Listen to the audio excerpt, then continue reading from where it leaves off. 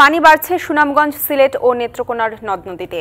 রবিবার সকাল নয়টা পর্যন্ত গেল চব্বিশ ঘন্টায় সুনামগঞ্জে এই মৌসুমের সর্বোচ্চ তিনশো বত্রিশ মিলিমিটার বৃষ্টি রেকর্ড করা হয়েছে।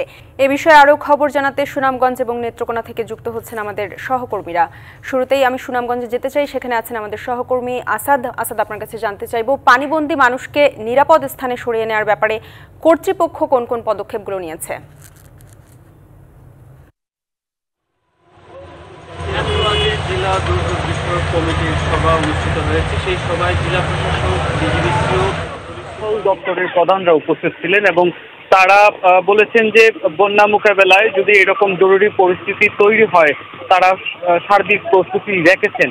তবে এখন পর্যন্ত সুনামগঞ্জের সুরমা নদীর পানি ছাতক ছাড়া বিপদসীমার নিচ দিয়ে প্রবাহিত হচ্ছে। শুধু ছাতকে বিপদসীমার উপরে প্রবাহিত হচ্ছে সেটা গেল দশ দিন যাবতই বিপদসীমার উপরে আছে। নগদের কাছে হক করলেই সমান। হেললেগা নগদের সেন্টারে একদম ফ্রি। তবে সর্বশেষ তথ্য অনুযায়ী সুনামগঞ্জের সুরমা নদীর পানি বিপদসীমার আট সেন্টিমিটার নিচ দিয়ে প্রবাহিত হচ্ছে। আহ, তবে এখন যেহেতু বিপদসীমার ছুঁই ছুঁই অবস্থা সুরমা নদীর পানি নিচু এলাকায় পানি প্রবেশ করতে দেখা গিয়েছে। বিশেষ করে তাহিরপুর সুনামগঞ্জ সড়কের যে শক্তিয়ার খোলার যে একশো মিটার সড়ক সেটি ডুবে যাওয়ার কারণে তাইপুরের সঙ্গে সড়ক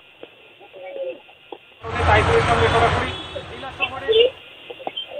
এছাড়াও পৌর শহরের কিছু নিচু এলাকায় জলাবদ্ধতা তৈরি হয়েছে।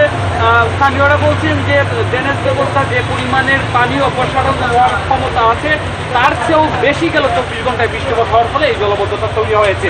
তো এখন পর্যন্ত বন্যা পরিস্থিতি সুনামগঞ্জে যেরকম বলা হচ্ছে, সেটা স্বাভাবিক আছে। তবে জেলা প্রশাসন সহ যারা সরকারের উদ্যোতন কর্তৃপক্ষ আছে, জেলা পর্যায়ে তারা বন্যা মোকাবেলার জন্য সকল প্রস্তুতি তারা নিয়ে রেখেছেন। আসাদ, আপনাকে ধন্যবাদ। এদিকে নেত্রকোনাতে আছেন আমাদের সহকর্মী রাকিবুল ইসলাম লিমন। আপনার কাছে জানতে চাইব, পানিবন্দী মানুষ এবং গবাদি পশু নিরাপদ স্থানে সরিয়ে নেওয়ার ব্যাপারে কর্তৃপক্ষ কোন কোন পদক্ষেপগুলো এখন পর্যন্ত নিয়েছে? ধন্যবাদ।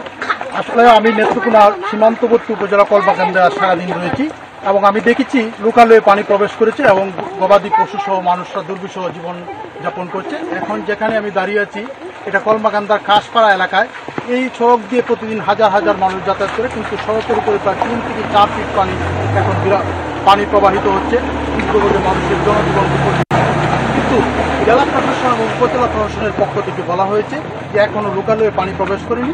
তো কিন্তু আমরা দেখেছি যে লোকালয়ে পানি প্রবেশ করেছে এবং জেলা প্রশাসক আমাকে আমাকে এই কথা জানিয়েছেন যে দুর্যোগ ব্যবস্থাপনা প্রতিরোধে মিটিং করা হয়েছে এবং পর্যাপ্ত ত্রাণের ব্যবস্থা করা হয়েছে, একটি হটলাইন চালু করা হয়েছে যাতে দুর্যোগ প্রবণ মানুষদের সহায়তা করা যেতে পারে। তো, উপজেলা প্রশাসন ইতিমধ্যে বিভিন্ন জায়গায় পরিদর্শন করেছেন এবং পানিবন্দী মানুষদের উদ্ধারের জন্য সর্বাত্মক প্রচেষ্টা অব্যাহত আছে বলে তারা জানান। নেত্রকোনা জেলার দশটি উপজেলার মধ্যে উদ্রাকালী নদীর পানি ইতিমধ্যে বিপদসীমার দশমিক পনেরো সেন্টিমিটার উপর দিয়ে প্রবাহিত হচ্ছে। এই জন্য কলমাকান্দা উপজেলা বন্যা পরিস্থিতি আর বন্যা পরিস্থিতি অবনতি, অবনতির দিকে যাচ্ছে। বন্যা পরিস্থিতি অবনতির দিকে যাচ্ছে এবং এই মুহূর্তে জন জন- জনগণের জনগণকে আশ্বস্ত করার জন্য জি জি এই ছিল নেত্রকোনা থেকে সর্বশেষ। লিমন আপনাকে ধন্যবাদ। নগদ আসার পরে এখন দিনে বাঁচে আশি টাকা। দুই বছরে সাতান্ন হাজার ছয়শো টাকা।